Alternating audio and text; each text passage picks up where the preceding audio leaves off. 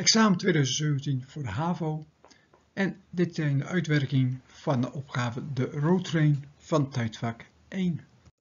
En de opgave start met een beschrijving van, goh, wat is een roadtrain? Belangrijk is dat de roadtrain in feite een voertuig is die met 90 km per uur aan het rijden is. En gevraagd wordt hier, wat is de reistijd als hij rijdt van Port Lincoln naar Port Augusta? Nou, eerst weer kijken van welke gegevens staan erin.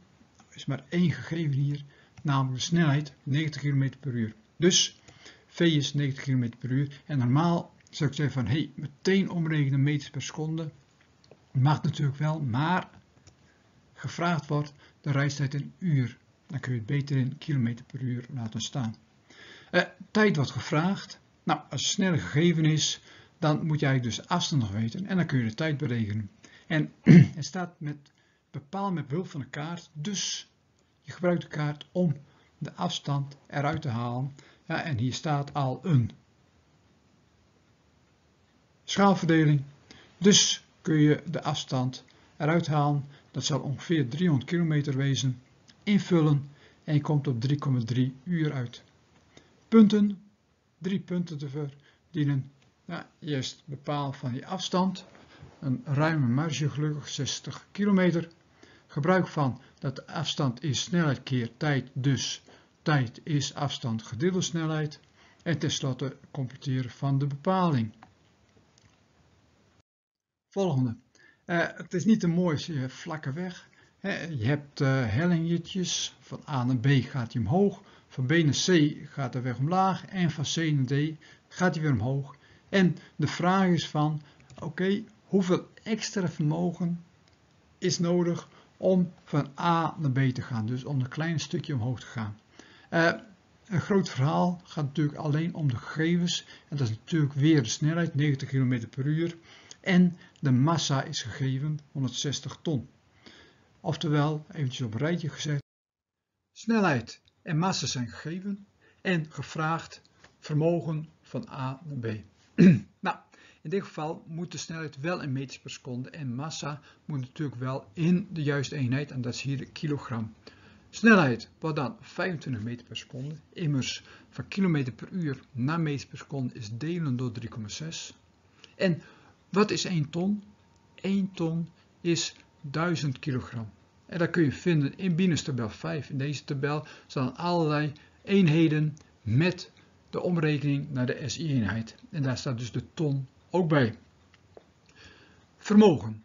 Wat is vermogen? Vermogen is de energie per seconde. Energie gedeeld door de tijd die erbij hoort. En welke energie hebben we het hier over? Nou, je gaat van A naar B. Je gaat omhoog.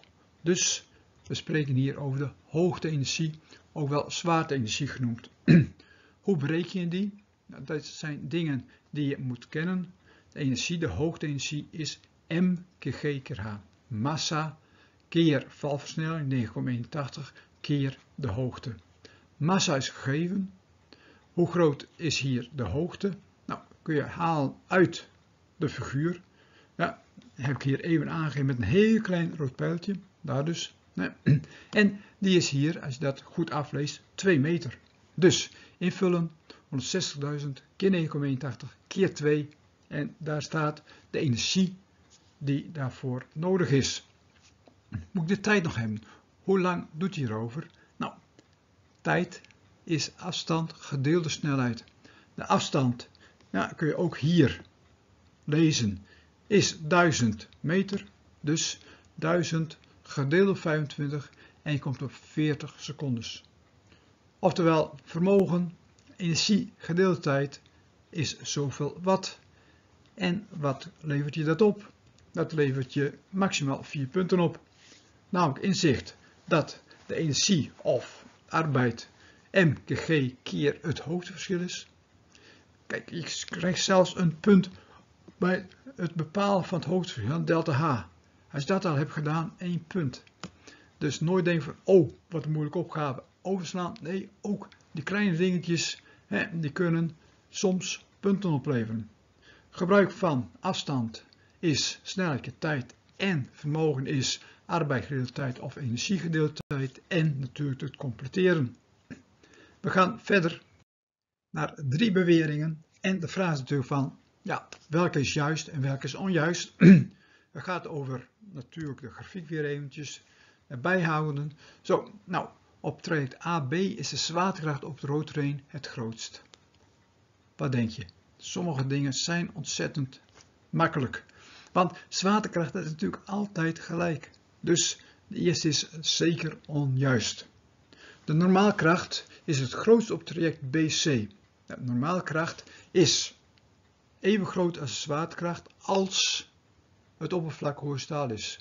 Als het oppervlak hellend is, dan neemt de normaalkracht af. En op BC is de helling nou juist het grootst, dus daar zal de normaalkracht het laagst zijn. Oftewel, die is ook onjuist. En tenslotte, de tijd die CD vergt, is het langst. Nou, tijd is natuurlijk het langst op dat traject welke het langst is. En CD is nou niet het langste traject. Dus ook deze is onjuist. Kortom, als je alles goed ingevuld hebt, dus alle drie onjuist, twee punten, twee antwoorden, één punt en als je alles verkeerd had aangekruist, nul punten. Verder met deze vraag. Hierbij wordt de roadtrain vergeleken met een vrachtwagen. Het verschil tussen vrachtwagen en roadtrain is hier duidelijk aangegeven. De massa van de vrachtwagen is een stuk lager dan die van de roadtrain. De vrachtwagen doet er korter over om een snelheid te bereiken dan de roadtrain. En beiden is de beginsnelheid natuurlijk 0 meters per seconde. En er zijn twee beweringen. Eerst is dat een roadtrain meer kracht levert. Het tweede is dat de roadtrainer meer kinetische energie heeft. En gevraagd wordt welke bewering is hiervoor juist. En dat doe je door hier een getal in te vullen en daar een getal in te vullen. Kortom, van het hele verhaal is eigenlijk alleen maar van belang dat de beginsnelheid 0 meter per seconde is. Alle andere gegevens staan in deze tabel. En ehm, we gaan eventjes deze twee vakjes invullen. En we beginnen met het meest eenvoudige. En dat is namelijk de kinetische energie. Nou, de kinetische energie, je weet, althans ik hoop dat je weet, dat dat een half mv kwadraat is. En zowel de massa als de snelheid zijn bekend. Dus dat is een kwestie van invullen. Uh, iets wat wel vaak vergeten wordt bij het berekenen is het kwadraat. Op zich heel apart, maar hè, als je dit uitrekent, vergeet het kwadraat niet voor de snelheid. Maar goed, invullen kom je op zoveel joules. Uh, het is natuurlijk wel zo van, hè, het staat hier een megajoule. Dus vergeet niet ook dit even om te zetten naar megajoule. 4,02 megajoule, in ieder geval wel een stuk meer dan de vrachtwagen. Dan de kracht. Uh, de kracht, vaak kun je dat wel doen met de tweede wet van Newton. F is m keer a. Massa is bekend en versnelling is bijna bekend. Want wat is versnelling? Versnelling is de snelheidsverandering per seconde. Dus delta v gedeeld door delta t. Nou, delta v van 0 naar die 7,09 en dat doet hij in 28,2 seconden. Dus invullen en je hebt de versnelling. En dat vul je in in m keer a en dan krijg je de kracht weer in newtons, even naar kilonewton en je komt op 40,2 kilonewton. Dus de onderzoeker had twee beweringen en de kracht is inderdaad groter dan die van een vrachtwagen en de energie is ook groter dan een vrachtwagen. Kortom, beide beweringen kloppen. Eh, de punten die je hiervoor kon halen, vier punten.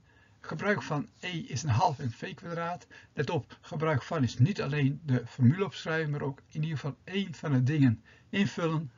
Maar die punt heb je op zich redelijk snel verdiend.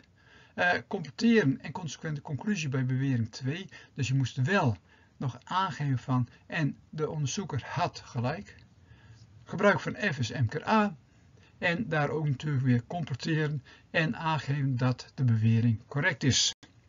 We gaan alweer de laatste vraag van deze opdracht. Het gaat over een noodstop gemaakt door twee voertuigen. Gemaakt vanaf 60 km per uur. En de vraag is met behulp van het VT-diagram.